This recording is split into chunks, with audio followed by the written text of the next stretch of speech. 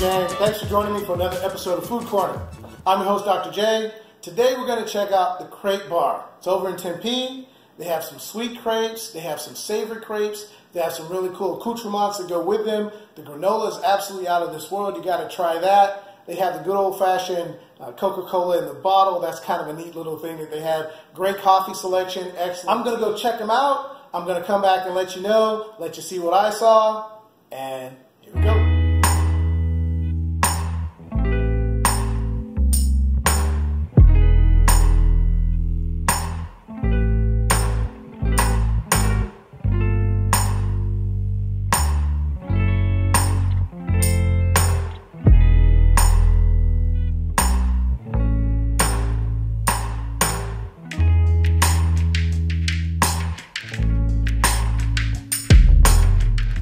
Um, one of the reasons I opened up Crepe Bar was to create an environment, a breakfast and lunch environment that was just lively, vibrant, uh, full of culture, full of life, and something that just is true to how I like to eat and dine.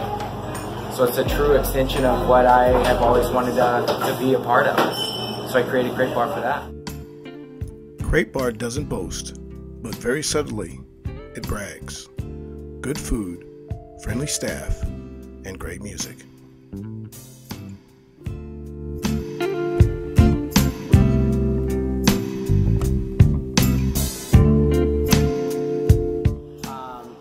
Bar's menu. Um, just like it says, we specialize in crepes, um, but we do things a lot different than most creperies. Um, we're very farm farm focused, uh, farm ingredient focused. Um, have a great relationship with our purveyors that are you know locally uh, you know located. Um, you know the, crepes we do a variety of. We do savories and sweets. Um, a lot of a lot of playful interpretations of classic crepe dishes that you would find in you know, parts of France, parts of uh, parts of Europe.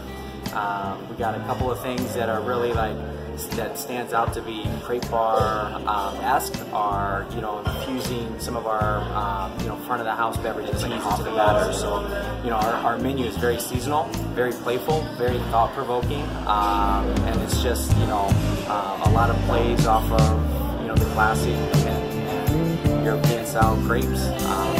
With our with our take, with my take.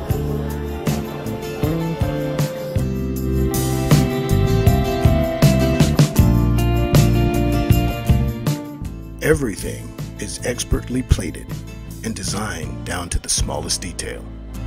My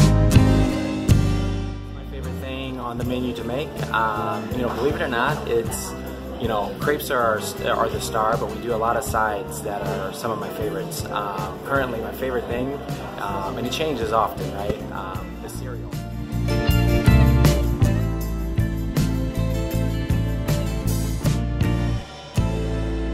The cereal that just hits all five tastes. Um, it's like a granola or muesli. Um, you can eat it raw, you can eat it plain, or you can put milk in it. Um, it's one of my favorite things to make. If I were to make, if I were to call out one of my favorite crepes to make, um, it's probably one of our newest ones. It's a play off of chilaquiles. Um, our menu, the restaurant focuses on no waste, minimizing waste. Um, so we take any of the, the crepes that aren't made for the day, um, we cut them into, into chips, um, fry them in olive oil, and then we use it and build a and we build a, a chilaquile, um, like our version of a chili chilaquile, but it's using all of the, the, the crepes that aren't sold for the day. So.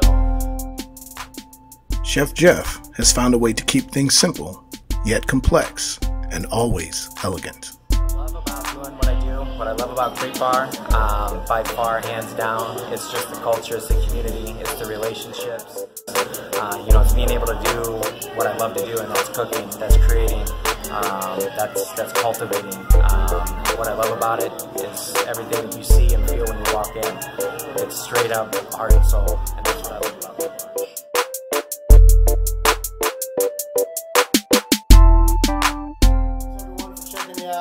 on this episode of Food Corner. I hope you enjoyed the crepe bar. Uh, how delicious did that egg look when that was cut open? Wasn't that absolutely amazing? Try the chilaquiles. The chilaquiles crepe was just out of control. Everything in that in that dish was just amazing. Go down, check out the crepe bar. I'm gonna do my best to keep bringing the good stuff. Stick with me. Thanks for watching Food Corner. Catch you next time.